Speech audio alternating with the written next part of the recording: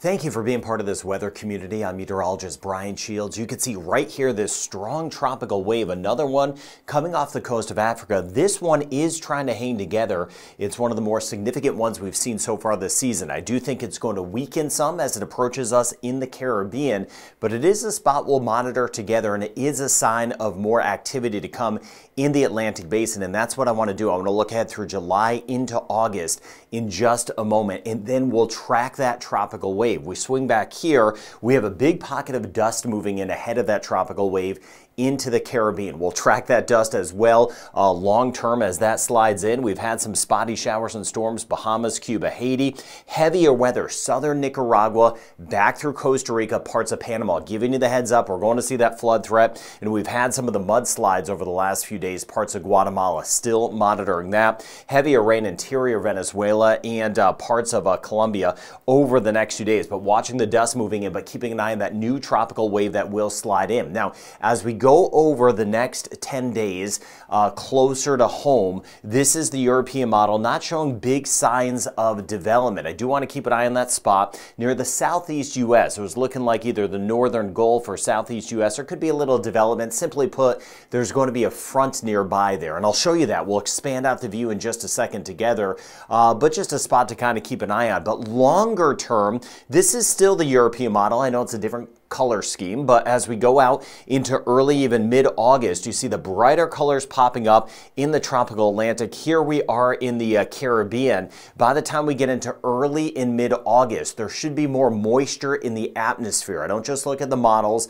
I look at what's going on in the atmosphere. There's going to be more available moisture, which means a better chance, a higher chance of development. And you can see the European model is hinting at that some of these yellows or oranges popping up saying, hey, maybe we'll watch out for some development in the tropical Atlantic as we get into early uh, to mid sections of August. We would expect that though. It's uh, getting closer to the uh, uh, bigger part of the hurricane season and keeping an eye on the southeast U.S., east coast of U.S. with old fronts and always monitoring the Caribbean and eastern Pacific uh, for any development that could be close to home. Now we are still so early in the hurricane season. It's really just started. We're just about a month in. As we work our way into August though, that's when things typically shoot up as far as the amount of named systems, tropical storms and hurricanes. September, October, usually very active. Even November, the last couple years have been unusually active. So uh, really the uh, big portion of the hurricane season all at ahead of us. And now longer term, as I just showed you,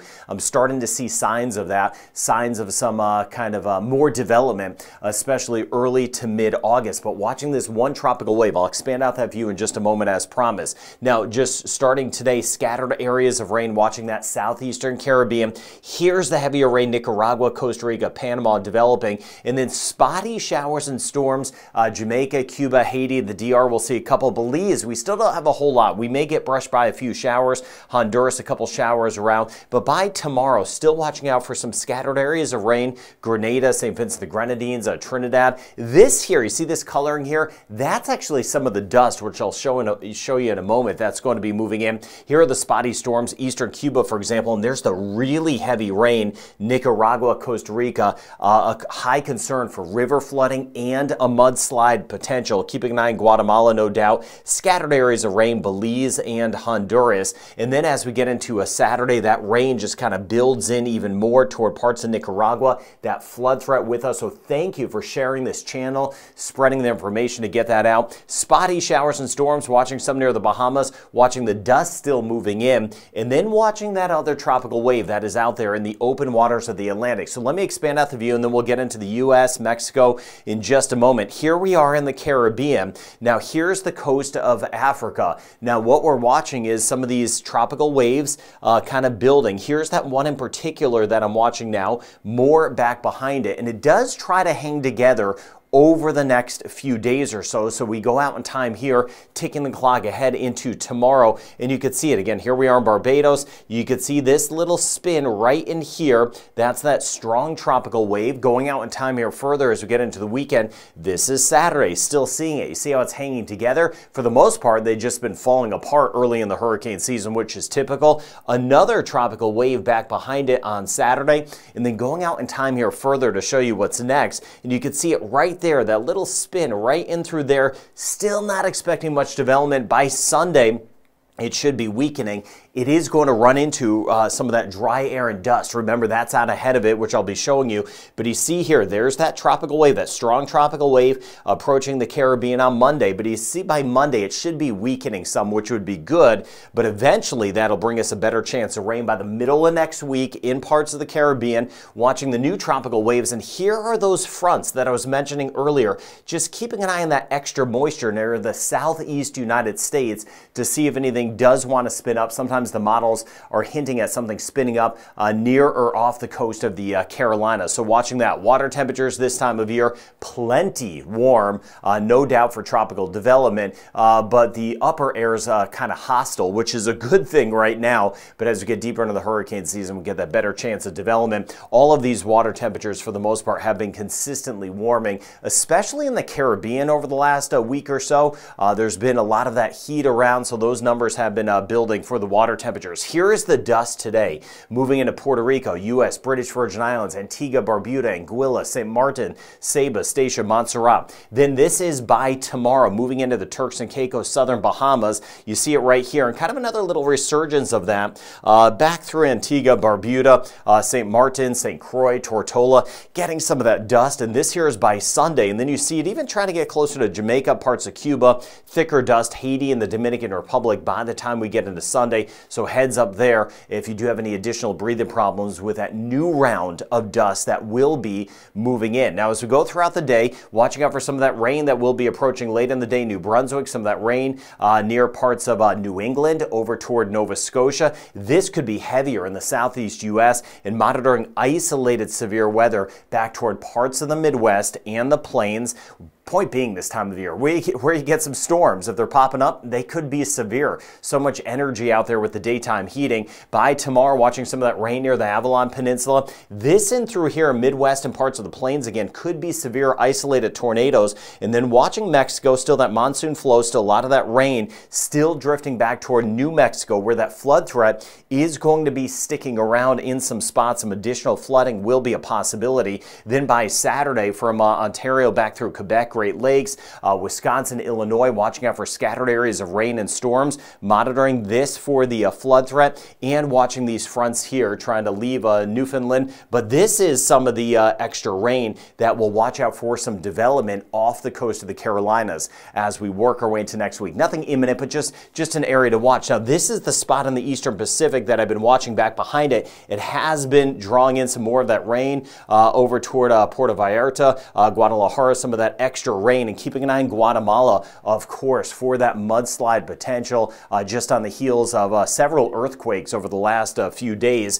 There's that moisture pulling through, especially the western spine of Mexico. But there's the rain building uh, Nicaragua, Costa Rica, Panama. And as that moves into the eastern Pacific, we'll monitor to see if we get any development out of that. Just a couple areas to monitor as we get into next week as we watch that uh, eastern Pacific, uh, but not seeing any big signs of development on the uh, eastern Pacific side. Seas are going to be choppier. Again, the next few days, I've been mentioning that through the Caribbean. Nothing super crazy, but watching the Atlantic passageways and the Caribbean this here is Saturday. As we go throughout the weekend, things will stay on the choppy side. Jamaica south, Haiti south, uh, the DR south, watching that. Even over toward Aruba, Curacao, Bonaire, uh, that uh, some of the uh, seas will be slightly elevated. Spotty showers and storms, as I mentioned, where we get them, two to three inches of rain or 50 to 75 millimeters of rain will be a possibility. Jamaica, some spots dry, others seeing thunderstorms, could get a shower. Parts of the Cayman Islands, spotty. Uh, Haiti and the DR. And again, remember in this sector here,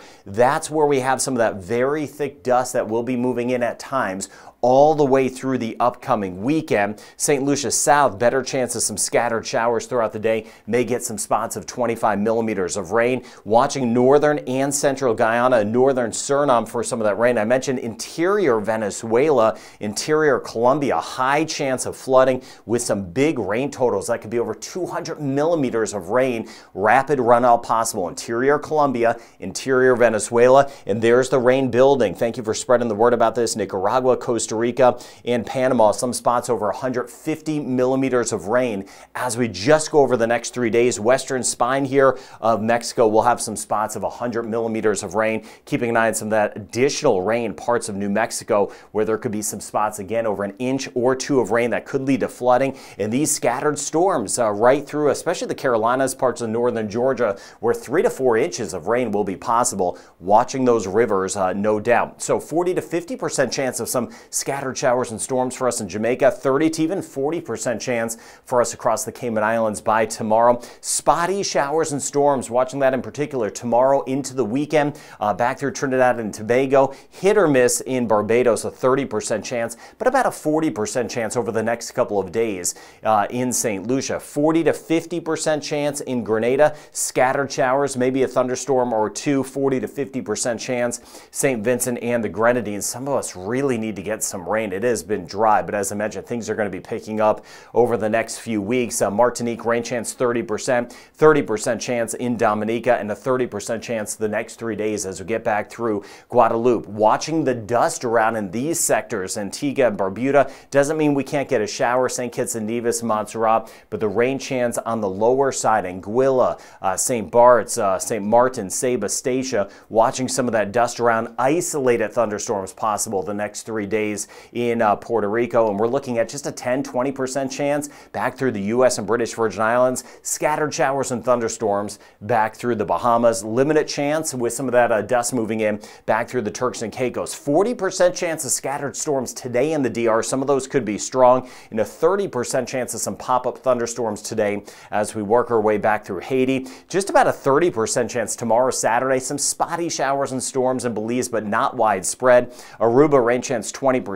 Will build a little bit near Curacao and Bonaire by the time we get into the weekend. And there's that chance of rain. High chance in Guyana. Again, northern and central zones. Northern Suriname, the better chance of getting some of the rain. Back through Cuba, scattered areas of rain and storms, especially central and eastern sections. Costa Rica and Panama, I see that rain chance only building in. Watching that flood threat carefully. And then southern and eastern Nicaragua, watching that flood threat in mudslide potential, along with some dangerous rivers. 40 to 50% chance of some scattered showers back through Honduras. Uh, watching out for that mudslide potential still parts of Guatemala and El Salvador. Rain chance 60% around Mexico City. 40% chance of a couple passing showers as we work our way through the Yucatan Peninsula. 50% chance in northern Colombia. 40 to 50% chance the next couple of days. Uh, northern Venezuela and a 20% chance back through uh, Bermuda. So tropical waves marching across the Atlantic. We have those areas of rain in, in the uh, Caribbean. Uh, some of the areas of dust around. Watching near the southeast U.S. But again, monitoring overall, watching that tropical wave, that strong one in the Atlantic, watching near the southeast U.S., and